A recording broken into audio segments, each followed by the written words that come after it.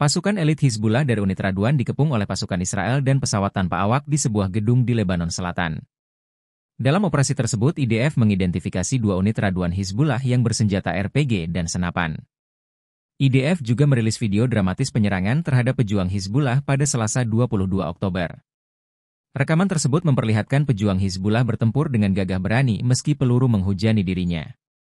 Pejuang tersebut melawan seluruh unit tentara Israel selama berjam-jam. Tentara Israel tak dapat menghabisinya sehingga mereka harus melakukan serangan udara.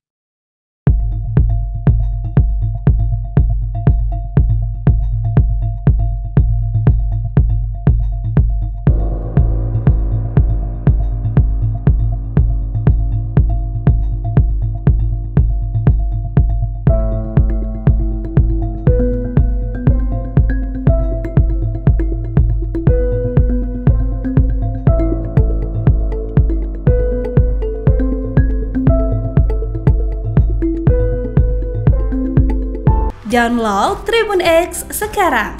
Menghadirkan lokal menjadi Indonesia.